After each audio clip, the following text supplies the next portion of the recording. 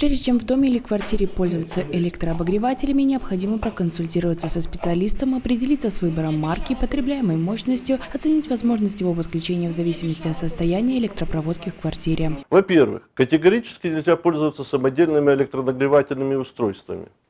Использование таких электрообогревателей несет как угрозу поражения человека электрическим током, так и опасности возникновения пожара. Во-вторых, Использовать электронагревательные устройства можно только в помещениях, электропроводка которых рассчитана на мощность такого устройства. При этом необходимо обязательно учитывать разрешенную к использованию мощность, указанную энергоснабжающей организацией, в выданных технических условиях на подключение объекта, в котором собираетесь пользоваться электронагревательными устройствами так как от нее зависит возможность подключения дополнительной нагрузки. Кроме того, необходимо убедиться в исправности электропроводки. Сделать это можно, измерив сопротивление изоляции.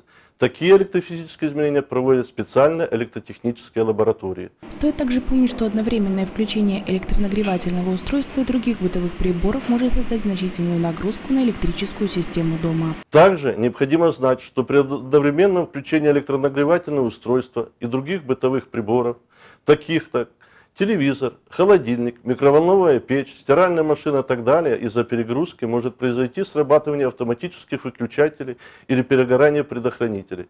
Чтобы это не произошло, ограничивайте количество одновременно включенных в сеть электроприборов, а в случае перегорания предохранителей используйте только заводские плавкие вставки.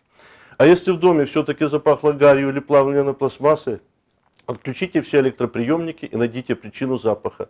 И только после этого производите включение прибора в электрическую сеть. Безопасной эксплуатации требуют и системы теплоснабжения, обеспечивающие передачу тепла от источника к потребителям в жилые и коммерческие здания. Особенно в зимний период, так как усиление морозов представляет собой серьезные испытания для данных систем, требующие особых решений. Важной особенностью является повышенная вероятность отказов и аварий в работе систем при низких температурах наружного воздуха.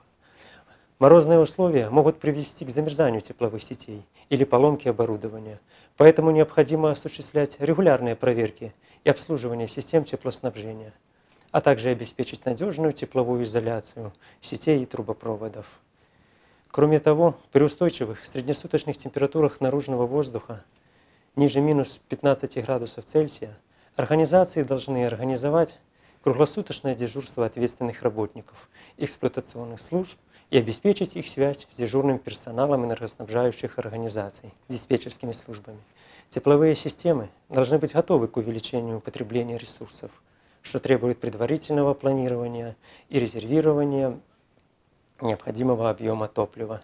Важным моментом работы систем теплоснабжения в условиях усиления морозов является их автоматизация управления. Современные технологии позволяют эффективно контролировать работу систем автоматического регулирования, оптимизировать расход ресурсов и быстро реагировать на возможные неполадки. При этом необходимо учесть особенности каждого конкретного объекта и применять индивидуальный подход к настройке и программированию систем. Госэнергогазнадзор обращает внимание, что до наступления периода усиления морозов в организациях, которые имеют системы теплоснабжения, должно быть, должны быть выполнены следующие мероприятия.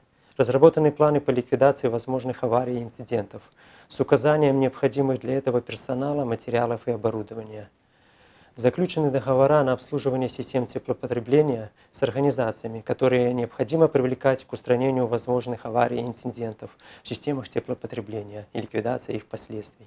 Составлен перечень и создан аварийный запас оборудования и материалов из расчета эксплуатируемого оборудования. Ремонтные подразделения должны быть укомплектованы требуемыми машинами и механизмами. Проведены инструктажи всему эксплуатационному персоналу по действиям при резких понижениях температуры наружного воздуха.